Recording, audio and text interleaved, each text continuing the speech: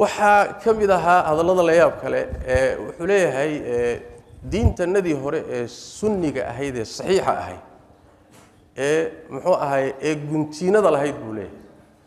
Diintanadii hore ee sunniga ahayd ee saxiixa ahayd ee guntiinada lahayd. Markaasaa dadkii fadhiyay mar kale qoslaya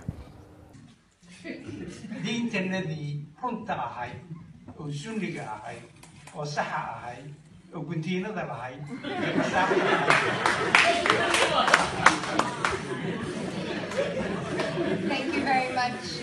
Um, anugu waxaan u malaynayaa dadkaasi waa dad muslimiin ee waxay la- yaaban yihiin aqoon darradiisa ay la yaaban yihiin asaguna wuxuu moodayaa baan u malaynayaa inay inay u qoslayaan oo u jiibinahayaan. Maxaa yeelay lix salaadood ba hooyada tukan jirtay markuu leeyahay war shan dhe baa leeyahay shan dhe waana lagu qoslaya war shan dhe marka yacni tee waaye diinta iyadaa diinteennii hore ee sunniga ahayd ee saxiix ahayd ee guntiinada lahayd waa tee. Idinku miyaad garan kartaa ma diin noocaasaynu inagu lahayno hore. Soomaali diin hore noocaasa ma lahayn. Soomaaliya islaamkaa diin u ahaa qur'aankaa diin u ahaa sunnada nebigaa diin u ahayd kutubtii fiqiga ee shaaficiga ee culimmadeennu akhrin jirtay baa diin u ahayd.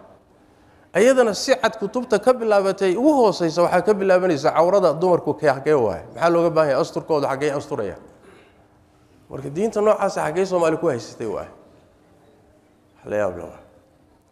waxaan aada ugu bogay ilaahay khayr ha siiyo gabadh soomaaliyeed oo oo intay qabsatay hilfaha u qaatay. Social media ku jirtaa oo muxuu ahay kelimo kooban oo qurux badanba ka tidhi. Waaba nagu filaan lahay. Laakiin ujeeddadeedu waxa weeye waxa ka dambeeya inaan faahfaahiyo. Aqoon-yahan soomaaliyeed oo madal wada jooga ku dhex qaawiyey hooyadii isaga dhashay.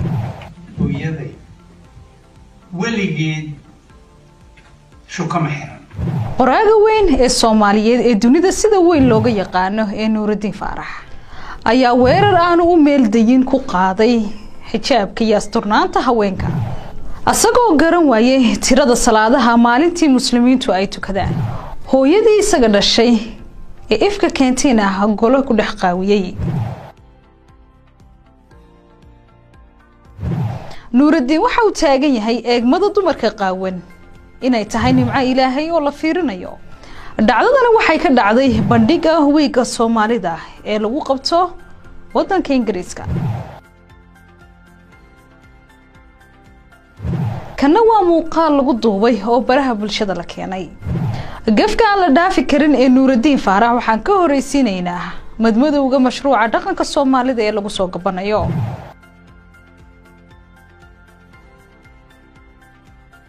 Qoraan nuuraddiin faarax oo bilado caalami ah ku helay qoraalka ifkana u soo saaray afar iyo toban boog. Ayaa mid keliya xataa aan af soomaali ku qorin oo faramarnaan ka taagan afka iyadoo mid ka mid ah bugaagtiisa uu dhowaan af soomaali u turjumay wariyaha weyn ee rugcadaaga cabdisalaan hereri oo buuggaas u bixiyey feedh qaloocan waxaa isweydiin mudan muxuu nuuraddiin faarax soomaalida u sheegayaa isaga oo la soo hortaagan.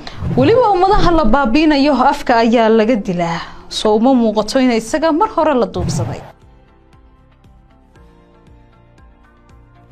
Haddii uu nuuraddiin jeclaysanayo maryihii hiddaha u ahaan jiray soomaalida waxaa isweydiin mudan sababta mar qudha aanu afka ugaga dhicin labadii qeyd ee ragga soomaaliyeed hiddaha u lahaa. Inay xidhaan oo maanta cid xidhataaba aanay jirin. Nuuraddiin mar qudha kuma baaqin in raggu dharkaas xidho. Isagu weligiis muu xidhan. Markaa wixiisu dhaqan ilaalin maaha ee waa dumar qaawin soo maaha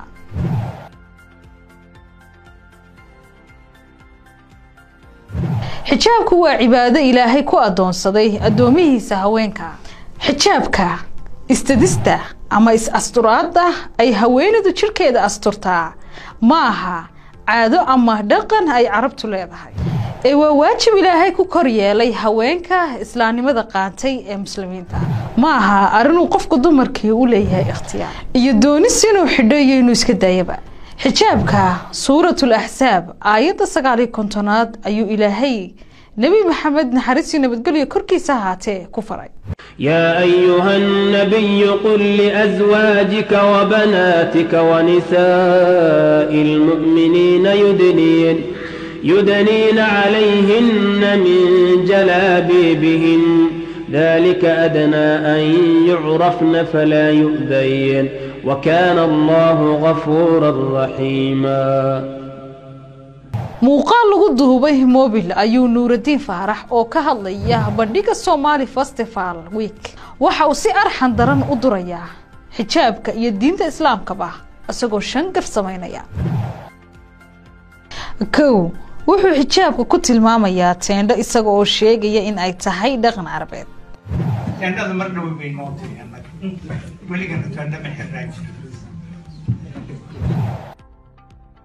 labo wuxuu sheegay in hooyadii ay weligeed shuuko ama xijaab xidhan isaga oo raaciyey inuu ku arki jiray xijaabka ilmo carab yamani ah oo ay dhashay hooyadiis walaasheed ama hooyaday weligeed shukama xiran dadaanu qaraabanahay baa jira. Walaasha hooyaday walaasheed baa waxay dhashay ilmo yamana. Gabdho iyo wiilal gabdhahaasaanu ku naqiinay shukada xiran saddex guntiinadu waa dhar ay xidhan jireen. Soomaalida dharkan ayaa waxaa muuqan jiray. Qaar ka mid ah cawrada dumarka. Sidaa awgeed wuxuu nuuraddiin eegmada cawrada u sameynayaa qiil ah in ay wacan tahay in la arko nimcada ilaahay. Khayraadka gundiinada waxaa weeye ilaahay nicmadiisna waa la arki karaa.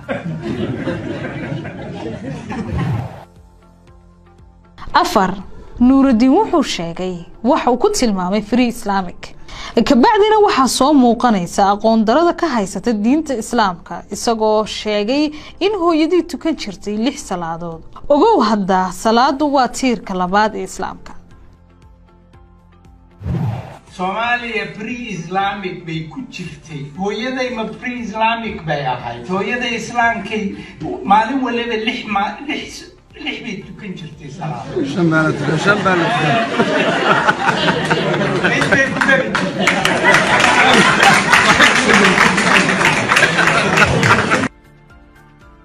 shan wuxuu masabiday diinta islaamka isaga oo sheegay in diintu leedahay guntiino taas oo noqonaysa in islaamku ogol yahay in la isqaawiyo. Diintanadii runta ahayd oo sunniga ahayd oo saxa ahayd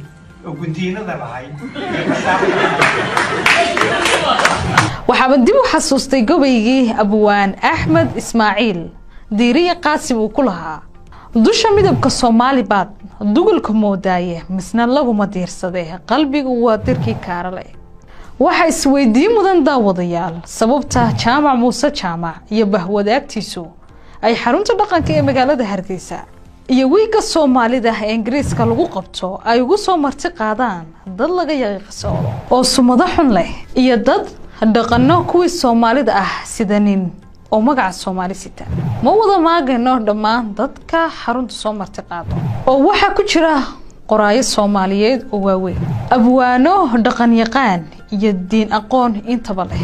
Balse waxaan u jeednaa kuwa magaca soomaalida sita ee la doonayo inay soomaalida ku dayato ee fariimaha guracan sida sida nuuraddiin faarax.